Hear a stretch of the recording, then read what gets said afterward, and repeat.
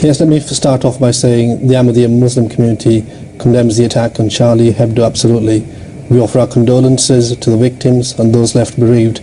Know, Islam does not permit any person to take the law into, its, into his hand and uh, we condemn this heinous attack unequivocally. Are you worried about how this attack might be utilised by the far right? It's always concerning and it's a deep source of regret when continually violence and terrorist activities are associated with Islam, despite the fact that it has nothing to do with its true teachings. Islam's a, a religion of peace and nothing else. Uh, there's been a number of high profile attacks, certainly over the last 12 months. Uh, have you seen uh, more of a negative stance towards Islamic communities?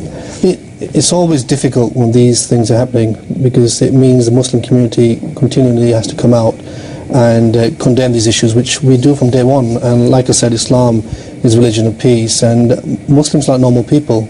You know, they they want nothing else than peace in society.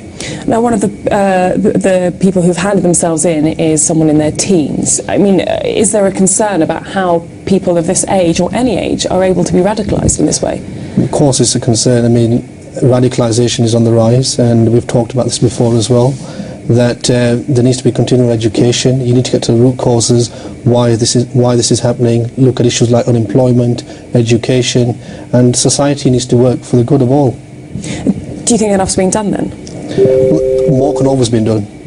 You know, it's uh, it's an onus on society collectively, not just governments but all stakeholders. Media has a responsibility as well. You know, we, all of us have a responsibility to foster peace and create unity in society.